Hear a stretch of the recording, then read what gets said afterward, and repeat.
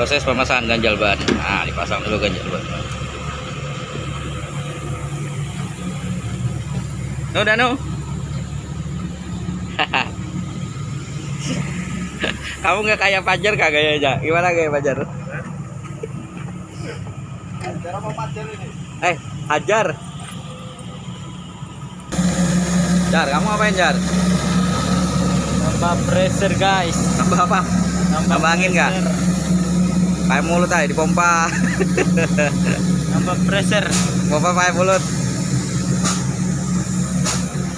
ngecek pressure kak Ini caranya. jago jago jagoan jagoan jagoan tukang ban tukang tambal ban nah, Ini kalau panas 130. Panas berapa panas? 130. panas 100 30. kalau tayarnya panas 130 berarti kalau operasi gitu kak Ya, terus kalau jadi git kalau belum operasi? Kalau belum operasi standarnya 118. 118 itu yang merek apa? Bridgestone Sama semua. eh Sama semua. masa sama semua. Ganteng dikit lah. Jangan lupa di subscriber. kamu itu masih nambah lagi orang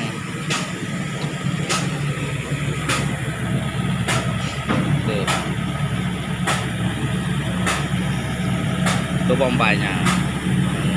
Itu pompanya. Ini hostnya. Masuk ke sini. Nah angin ini. Tapi belum dibuka. Kalau sudah orangnya pada pergi baru dibuka. Karena bisa bahaya kalau ada orang langsung nambah. Nah, dipasang dulu. Itu ada kerannya nah itu ada kerannya jar! Hajar kamu di mana Dan, cekrek, dan. jar cekrek jar. Nah, samping Nah. ini namanya Mas Hajar Ajar sahwat. Hajar nama panjangnya Hajar Sahwat Ajar jahanam. Oke.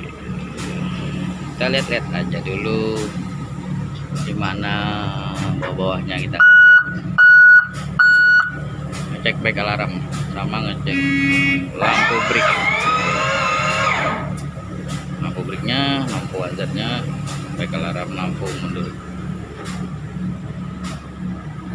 Eh, ini dia.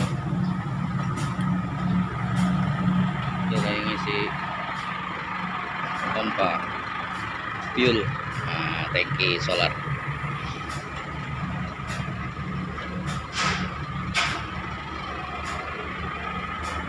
Ada lampu.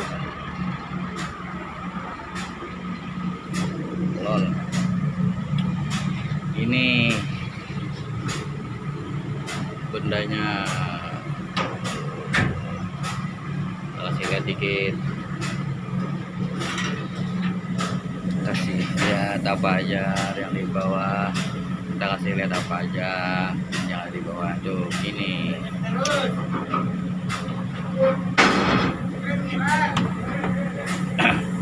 transmisi. Sampai ke atas sana transmisi. Itu trainer transmisi. Ada empat saringan kasar untuk transmisi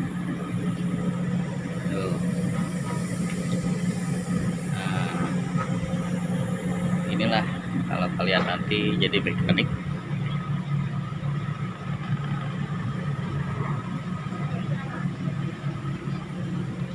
Ada yang nanya bang apa aja itu bang? Waduh saya aja juga gak hafal nih semua namanya apa.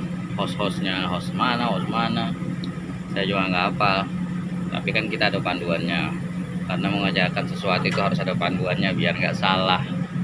Kalau saya bilang apa nanti kalau saya salah kan susah nanti mana bikin masalah nanti. Nah kita kalau perbaikan unit ini harus pakai panduan namanya shop manual.